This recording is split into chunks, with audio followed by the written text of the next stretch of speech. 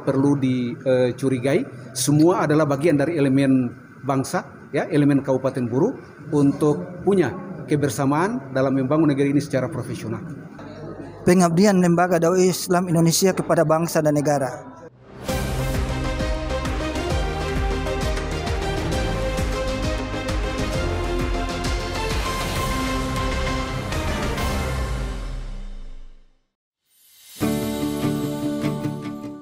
DPD LDI Kabupaten Buru melaksanakan rapat kerja daerah atau Rakerda 4 sekaligus pelantikan kepengurusan baru masa bakti 2022-2027 di Green Sara Hotel Namlea Maluku pada Kamis 22 Desember 2022.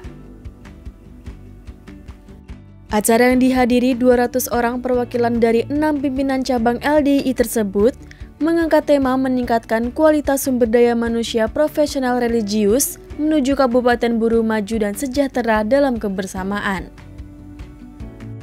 Hadir dalam kesempatan tersebut, penjabat Bupati Buru Jalaluddin Salampesi mengharapkan kontribusi dan kolaborasi langsung LDI dengan pemerintah daerah untuk memberikan dampak positif kepada masyarakat sekitar. Dengan tema yang ada yakni sumber daya manusia profesional menuju buruh yang sejahtera dalam kebersamaan. Inilah yang kita harapkan. Seluruh komponen dan elemen-elemen masyarakat akan berpadu membangun kabupaten ini dengan berbagai profesionalismenya. Dengan berbagai latar belakang, kita akan bisa memberikan warna-warna dalam kebersamaan untuk negeri tercinta. Ketua DPW LDI Provinsi Maluku, Jamaluddin Wabula dalam sambutannya menyampaikan bahwa Pergantian kepemimpinan DPD LDI Kabupaten Buru merupakan implementasi dari program T-Sukses untuk menyiapkan sumber daya manusia yang dapat bersinergi dengan program pemerintah setempat.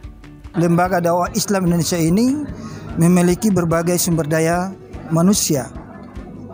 Olehnya itu di pergantian kepemimpinan ini bukan suatu kompetisi, bukan suatu kompetisi, tapi suatu kaderisasi.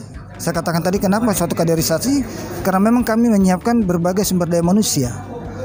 Sumber daya manusia itu kami siapkan melalui suatu program yang disebut dengan generasi yang profesional religius, yaitu generasi yang berakhlakul karimah, generasi yang uh, alim fakih dan generasi yang mandiri.